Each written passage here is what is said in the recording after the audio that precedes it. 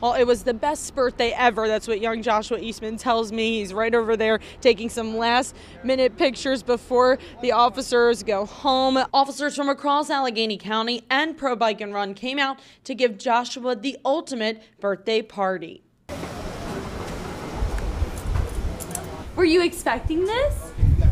Joshua Eastman, who is battling leukemia, was met by police officers from across Allegheny County outside of the Ronald McDonald House Thursday, all there to help celebrate his ninth birthday. We've been in touch with him since the patch delivery back in February. In February, Joshua went viral for his love of police patches, grabbing the attention of over 75 departments here in the Pittsburgh area. I told Joe.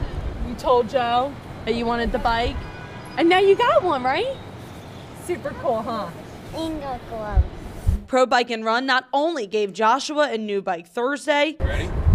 Pedal like you did the other one.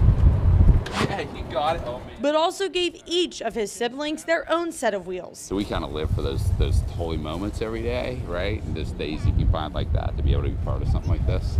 So it's special. Joshua's parents say he also got another surprise reunion from his siblings, who he hasn't seen since December. I'm joyed.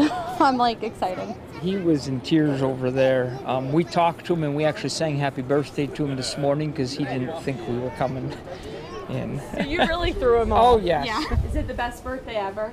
And to finish off the best day ever, Joshua's parents broke the news to him that he's finally going home.